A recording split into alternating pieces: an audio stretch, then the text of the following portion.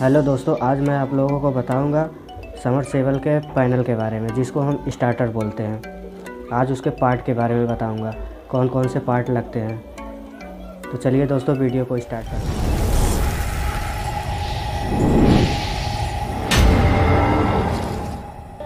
दोस्तों, यह है डेढ़ एच का पैनल स्टार्टर। अब इसको हम अंदर से दिखाते हैं। यहाँ लॉक है, इसको लॉक को खोल लेते हैं।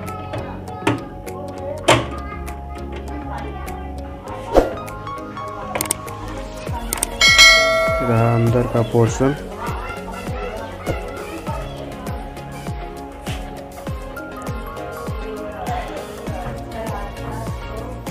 दोस्तों, ये है केबल कनेक्टर। यहाँ पे हम neutral phase and R Y B का कनेक्शन करते हैं।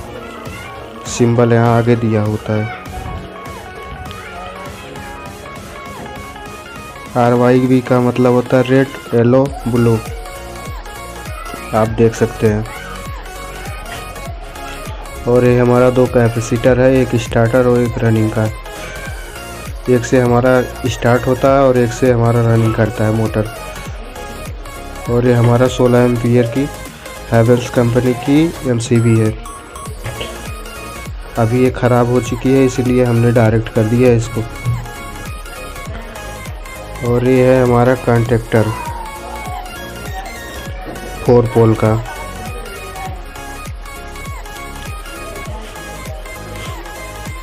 और ये है हमारा एम्पियर मीटर और ये वोल्ट मीटर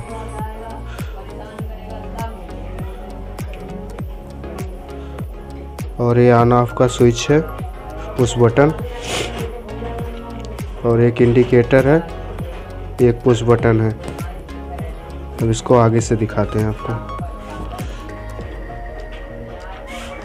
ये देखिए दोस्तों, ये हमारा ऑन ऑफ़ का पुश बटन है। ये ऑन का है, ये ऑफ़ का है। ये हमारा ऑन का इंडिकेशन है। और इससे, इसको पुश करके हम इसको वोल्ट मीटर चेक करते हैं। हमारा इनपुट सप्लाई कितना आ रहा है। और ये है एम्पियर मीटर अभी हम इसको ऑन करके दिखाते हैं।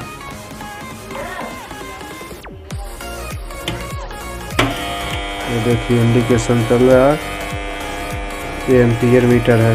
एम्पियर मीटर बता रहा है कि हमारा वोल्ट मीटर ख़राब हो चुका है, इसलिए नहीं चल रहा है। इसको ऑफ़ कर देते हैं।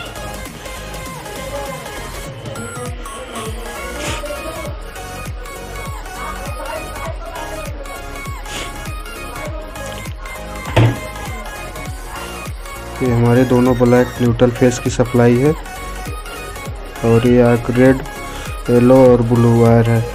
हमारे पास एक पुराना मोटर पड़ा हुआ है, उसका दिखाते हैं आपको।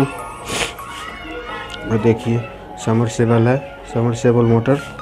इसमें तीन वायर अंदर से निकल के आता है, रेड, येलो, ब्लू। यही तीन वायर आके यहाँ पे सीधा कनेक्ट होता है, रेड, येलो, ब्लू। और है हमारा मेन सप्लाई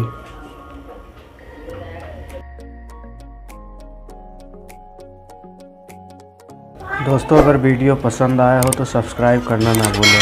धन्यवाद।